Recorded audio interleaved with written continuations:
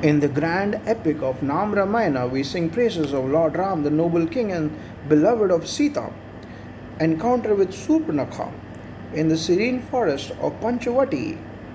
Sri Ram's peace was disturbed by the wicked Surpanakha.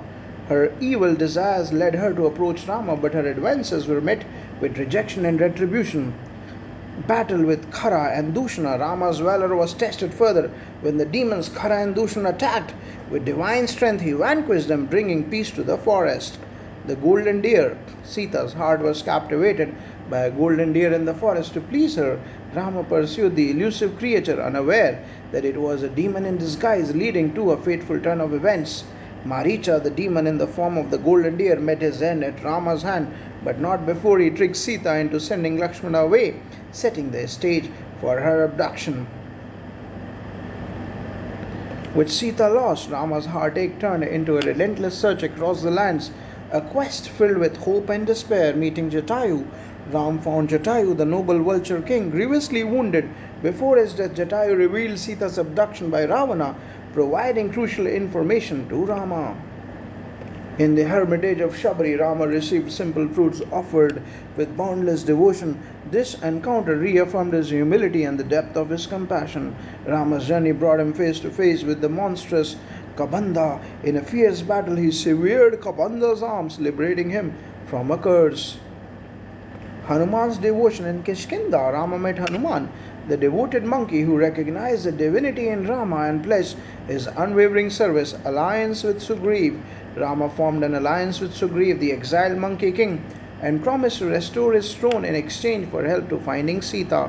To fulfill his promise, Ram confronted and defeated Bali, the powerful monkey king, freeing Sugriv from his brother's tyranny. Hanuman as messenger, Rama entrusted Hanuman with his ring, sending him as a messenger to Sita, a task that would take Hanuman across great obstacles to Lanka. Throughout the trials, Lakshman stood by Rama's side, his unwavering loyalty and service reflecting the deep bond between the brothers. Hanuman's leap, with Rama's name in his heart, Hanuman leapt across the ocean to Lanka, overcoming vast distances in his mission to find Sita. Removing obstacles, Rama's divine will removed all obstacles from Hanuman's path, guiding him safely to his destination. Meeting Sita in Lanka, Hanuman discovered Sita in captivity.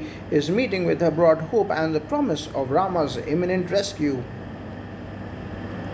Rama condemned the ten headed Ravana, the demon king of Lanka, whose wickedness knew no bounds, and prepared to liberate Sita, embracing Hanuman. Upon Hanuman's return, Ram embraced him, honoring his faithful service and the crucial news of Sita's location. Rama learned from Hanuman about Sita's ordeal with Kakasura in the forest, a story that further fueled his resolve to rescue her. I take refuge in Sri Ram, who heard that Kakasura incident which took place in the forest from Hanuman as told to Hanuman by Devi Sita. Finally, Ram saw the Chudamani, the precious hair ornament of Sita, brought to him by Hanuman, symbolizing hope and the impending reunion. I take refuge in Sri Ram, who saw the Chudamani. Then, in the name of Nam Ramayana, the glory of Ram unfolds in a sequence of divine acts, showcasing his strength, compassion, and unyielding dedication to Dharma.